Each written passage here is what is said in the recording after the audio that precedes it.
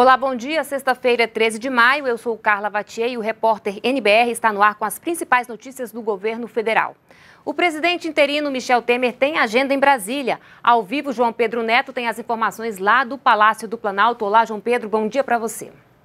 Oi, Carla, bom dia para você também, bom dia a todos. Bom, nesta sexta-feira, o presidente da República interino, Michel Temer, coordena a primeira reunião ministerial do governo aqui no Palácio do Planalto. Essa reunião acontece agora, a partir das 9 horas da manhã.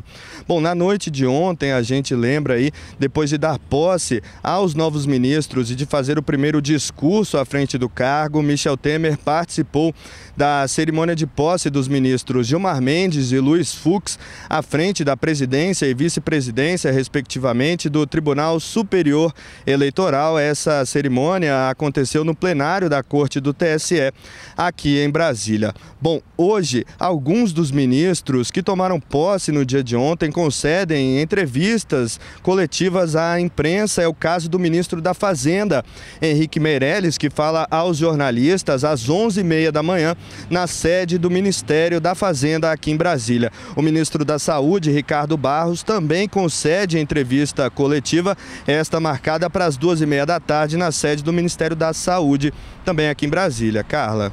Obrigada, João Pedro, pela sua participação. Bem, e ontem, no primeiro pronunciamento como presidente interino, Michel Temer afirmou que um dos objetivos do governo é reduzir o desemprego no país. O emprego, sabemos todos, é um bem fundamental para os brasileiros. O cidadão, entretanto, só terá emprego se a indústria, o comércio e as atividades de serviço estiverem todas caminhando bem. De outro lado, um projeto que garanta a empregabilidade exige a aplicação e a consolidação de projetos sociais Michel Temer também afirmou que vai manter os programas sociais e fazer reformas, sem alterar os direitos previdenciários e trabalhistas. Vamos manter os programas sociais. O Bolsa Família, o Pronatec, o FIES, o ProUni, o Minha Casa Minha Vida, entre outros, são projetos que deram certo e, portanto, terão sua gestão aprimorada. Aliás, aqui mais do que nunca, nós precisamos acabar com o hábito que existe no Brasil, em que assumindo outrem no governo, você tem que destruir o que foi feito. Ao contrário, você tem Você tem que prestigiar aquilo que deu certo, completá-los, aprimorá-los e insetar outros programas que sejam úteis para o país. Eu expresso, portanto, nosso compromisso com essas reformas. É? Mas eu quero fazer uma observação. É que nenhuma dessas reformas alterará os direitos adquiridos pelos cidadãos brasileiros. Foi publicada no Diário Oficial da União desta sexta-feira a nomeação dos novos ministros que vão compor o governo do presidente interino Michel Temer. Ontem, durante a cerimônia de posse, alguns ministros falaram sobre a expectativa em relação ao novo governo.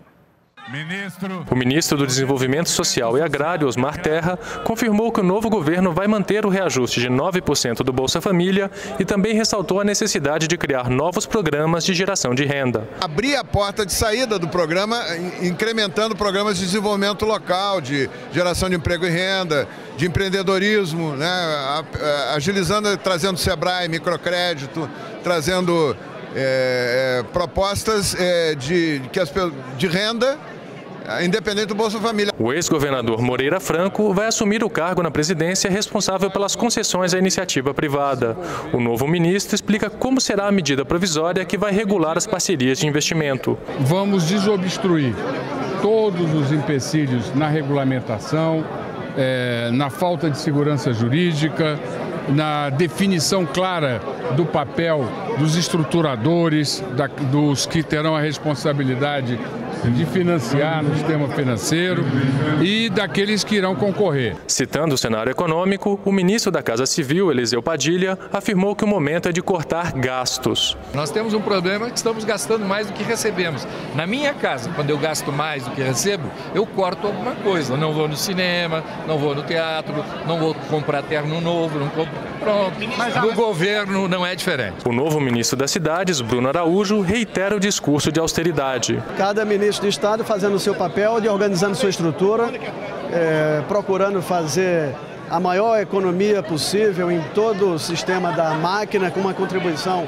ao ajuste. Nesse momento é a atenção voltada à equipe, à equipe econômica. Nós temos um novo sistema de planejamento estratégico que possa apontar saídas e caminhos para a animação econômica e para o desenvolvimento, é também instalar um sistema de governança, de controle e de melhoria dos gastos públicos, é ter uma operação do orçamento mais equilibrada, buscar o equilíbrio fiscal, ou seja, existem várias prioridades que se somam no sentido de, de buscar uma melhor atuação da máquina pública, poupando recursos fazendo o equilíbrio fiscal e tendo condições de contribuir com o fortalecimento da política econômica que vai trazer o crescimento, o desenvolvimento e a geração de empregos. A segurança das Olimpíadas, realizada este ano no Rio de Janeiro, também é prioridade. A minha primeira prioridade, amanhã, chama-se Olimpíadas do Rio de Janeiro. Nós estamos há poucas semanas e nós temos um papel estratégico na realização das Olimpíadas. Por isso, a minha primeira reunião será exatamente para tomar pé elaborar um relatório ao senhor presidente da República